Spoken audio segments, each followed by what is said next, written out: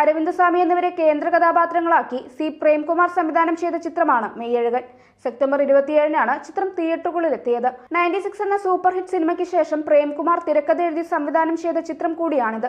രാജ് കിരൺ ശ്രീദിവ്യ സ്വാതി കൊണ്ട ദേവദർശിനി തുടങ്ങിയ താരനിരയും ചിത്രത്തിൽ പ്രധാന കഥാപാത്രങ്ങളെ അവതരിപ്പിച്ചിരുന്നു. കാർത്തിയുടെ കരിയറിലെ ഇരുപത്തിയേഴാമത്തെ ചിത്രം കൂടിയാണിത്. Junior N T R Saif Ali Khan Janhvi Kapoor എന്നിവർ അഭിനയിച്ച കൊരട്ടല ശിവയുടെ ദേവരയും ഈ മാസം ഒ ടി ടിയിൽ എത്തുന്നു മീഡിയ റിപ്പോർട്ടുകൾ പ്രകാരം നവംബർ എട്ട് മുതൽ നെറ്റ്ഫ്ലിക്സിൽ ദേവരയുടെ പാർട്ട് വൺ ലഭ്യമാകും. ഔദ്യോഗിക പ്രഖ്യാപനം തീർച്ചപ്പെടുത്തിയിട്ടില്ലെങ്കിലും ഹിന്ദി തെലുങ്ക് കന്നഡ മലയാളം തമിഴ് എന്നിവയുൾപ്പെടെ ഒന്നിലധികം പ്രാദേശിക ഭാഷകളിലും ആരാധകർക്ക് വേണ്ടി ദേവര ഒ ടി ടി റിലീസിനൊരുങ്ങും. തെലുങ്ക് പ്രേക്ഷകർ ഏറെ ആകാംക്ഷയോടെ കാത്തിരിക്കുന്ന ഒരു ഡ്രാമ ത്രില്ലറാണ് ദുൽഖർ സൽമാൻ വെങ്കിട്ടട്ലൂരി കൂട്ടുകെട്ടിൽ പിറന്ന ലക്കി ഭാസ്കർ.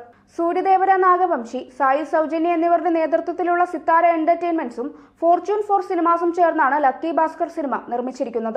ചിത്രം അവതരിപ്പിക്കുന്നത് ശ്രീകാര്യ സ്റ്റുഡിയോസ് ആണ്. ഹൈപ്പറാദി സൂര്യ ശ്രീനിവാസ് എന്നിവരാണ് ചിത്രത്തിലെ മറ്റ് പ്രധാന താരങ്ങൾ. ഒരു പിരീഡ് ഡ്രാമ ത്രില്ലറായി ഒരുങ്ങിയിരിക്കുന്ന ലക്കി ഭാസ്കർ തെലുങ്ക് മലയാളം തമിഴ് ഹിന്ദി ഭാഷകളിൽ പാൻ ഇന്ത്യൻ റിലീസിനായി എത്തും.